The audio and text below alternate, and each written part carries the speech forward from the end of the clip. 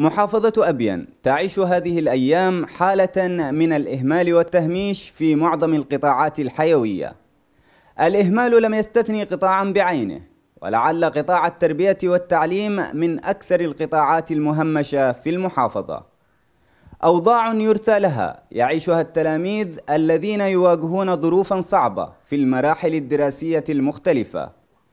تغيب عنهم أبسط الحقوق مبان آيلة للسقوط.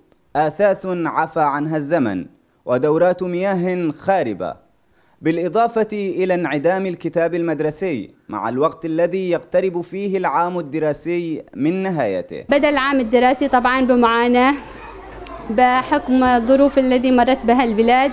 وفي هذا السياق أكد الإداريون وجود نقص كبير في الكادر التدريسي فيما تشهد معظم المدارس ضعفا في البنية الأساسية. وإهمالا كبيرا في ترميم الأثاث المدرسي المتهالك وغض الطرف عن تفعيل الأنشطة المدرسية من قبل الإدارات المختصة في المحافظة ما يؤثر سلبا على العملية التعليمية. معلمات مجمع خولة ومدرسة خديجة طالبن إدارة التربية والتعليم بالمحافظة. نطالب برش المدرسة الثانوية كامل والمدارس الأخرى أيضا حتى نؤمن أنفسنا والطالبات من أي مرض يمكن حدوثه في أي وقت. كل هذا الإهمال يشهده القطاع التربوي في أبين ومكتب التربية والتعليم يغرد خارج السرب وغير مباليا بخطورة الوضع.